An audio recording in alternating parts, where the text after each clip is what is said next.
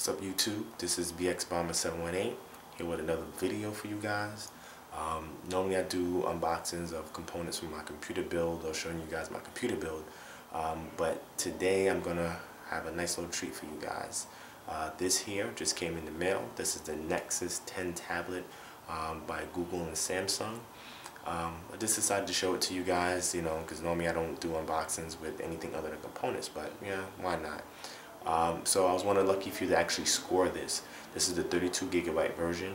Um, if anybody knows about the debacle that was going on um, in the Google Play Store, where people had to keep refreshing and you know it would be in a cart but they couldn't check out, I was actually having some issues with it. I tried three different browsers, uh, Chrome, I tried uh, Firefox, I tried Internet Explorer, going back and forth, back and forth. I finally got it to check out through Firefox, and uh, everything went through fine. You know, I just got home from work, so uh, just just got delivered to me. So I'm just gonna just show you guys an overview, an unboxing, and just an overview of it.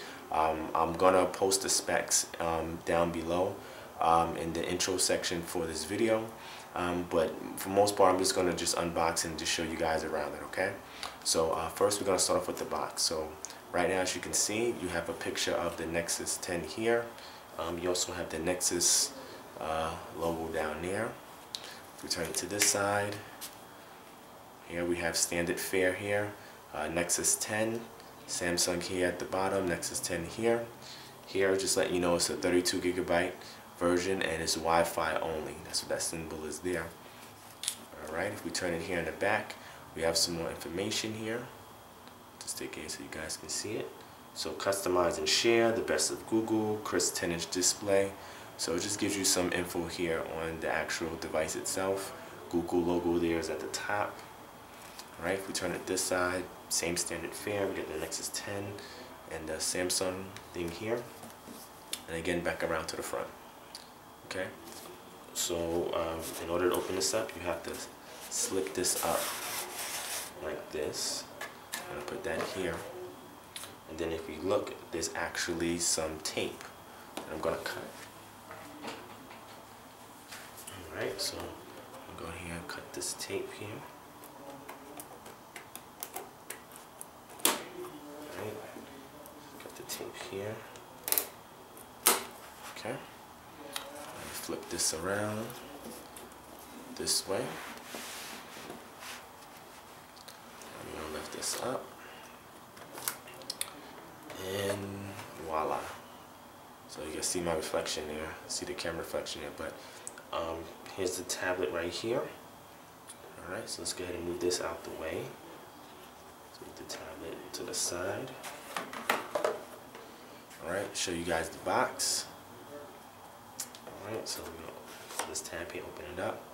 So we present here with the USB data cable. Right here, uh, the wall outlet. I mean the wall plug, not outlet and uh, this is the other piece that it plugs into and then the data cable plugs into this for charging. Um, I also heard that you can charge this via USB which is a good thing. Um, it also comes with these uh, start guides here. A quick start guides a warranty guide. Which nobody really pays attention to. And uh, if we lift this up here really nothing underneath. So all you have is just these items. You know, as you guys know, things are becoming much and much more scarce nowadays when it comes to tablets and phones and so forth. So, you know, that's all you get in here. Nothing magical. Um, so you're gonna go ahead and just close the box. Okay, I'm gonna put the tablet here for you guys to see. So I'm gonna lift this up. You might see the reflection of the camera, just ignore it. Alright, so starting with the overview at the top, we have a 1.9 megapixel camera here at the top, right here. Alright, on the side we have the micro USB connector. This is the right side.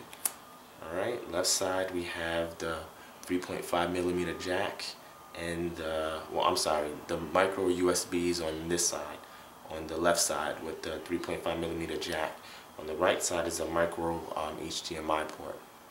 Alright, here at the bottom We have some kind of docking port, which will probably be for a keyboard or other accessories uh, later down the line. We'll see what Google is going to do with that. Alright, so we turn it to the back. We have the Nexus logo there, as you can see. At the top is the 5 megapixel camera with LED flash, and there's a secondary, um, well not secondary, but this is the mic right here. Alright, at the top we have the volume rocker and the power button. So pretty much that's just an overview of the tablet. Um, I'm gonna go ahead and just take the plastic off and boot it up, just so you guys can see the boot up. It's not charged, I didn't charge it obviously because I'm just opening this up from scratch. Let me take all the stickers off. Uh, that's one piece off the back. Okay. second piece camera area. And the final piece here